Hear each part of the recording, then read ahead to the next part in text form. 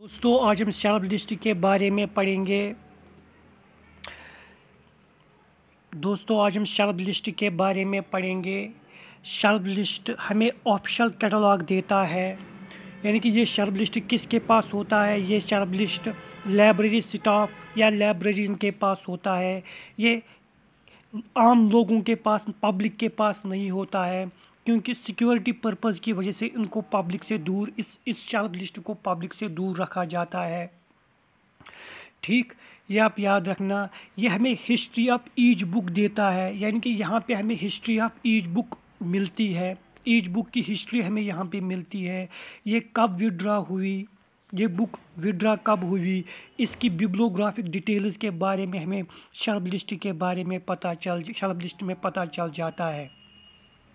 यहाँ पे each item में हम एक कार्ड रखते हैं। एक कार्ड रखते हैं। यानी कि ये प्रिंस किस प्रिंसिपल की पे बेस है?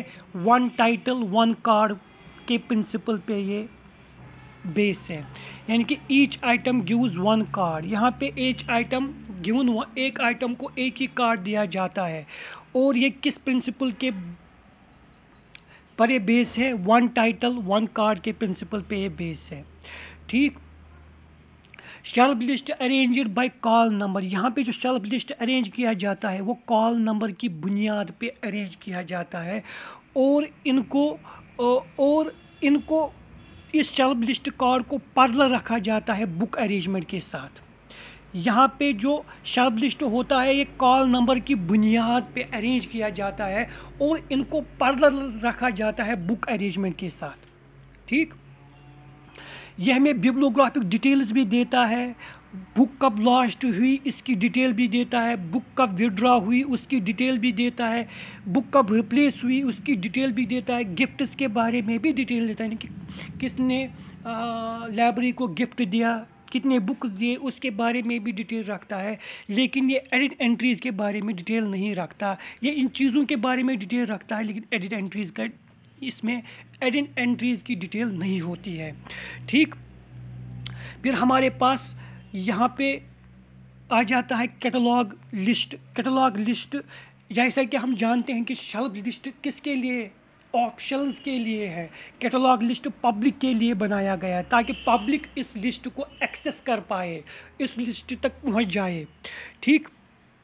और यहाँ पे ये ओपन प्लेस पे रखा जाता है ताकि पब्लिक जब इस लिस्ट को देख पाए तो उसे पता चल जाए कि मेरा रिक्वायर्ड मटेरियल क्या इस लाइब्रेरी में मौजूद है। यहाँ पे डॉक्यूमेंट को लोकेट किया जाता है according to class number class number की बुनियाद पे यानी कि आग, अगर आप कैटलॉग कार्ड में देखेंगे वहाँ पे हम कॉल नंबर देते हैं और एसेशन नंबर देते हैं। उसकी बुनियाद पर हम कैटलॉग उसकी बुनियाद पे हम डॉक्यूमेंट को लोकेट करते हैं।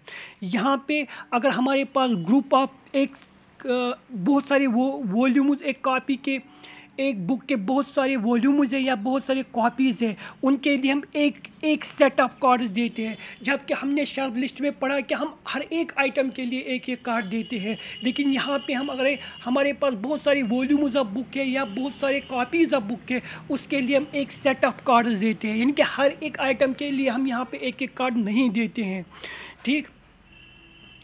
ये हमें फुल डिटेल देता है पे पर्टिकुलर आइटम ये हमें फुल डिटेल किसी पर्टिकुलर आइटम के बारे में हमें ये फुल कैटलॉग से शेल्फ लिस्ट से भी ज़्यादा हमें ये डिटेल देता है किसी पर्टिकुलर आइटम के बारे में। और यहाँ पे मेन कार्ड एंट्रीज़ और एडिट एंट्रीज़ दिखाई जाती है इस कार्ड में। इस कार्ड में मेन कार्ड एंट्रीज़ और एडिट एंट्रीज़ को दिखाया जाता है। जबकि हमने शेल्फ लिस्ट में पढ़ा था कि वहाँ पे बिब्लोग्राफिक डिटेल्स दी, दी जाती है। किसी भी डॉक्यूमेंट या बुक की ये बुक कब लास्ट हुई? अगर लास्ट हुई तो कब लास्ट हुई? अगर विड्रा हुई तो कब विड्रा हुई?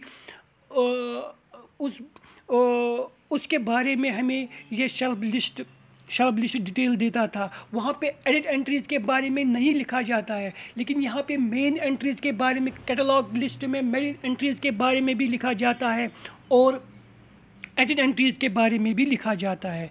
ठीक, मुझे उम्मीद है कि आपको ये छोटा सा वीडियो मेरा पसंद आ गया होगा।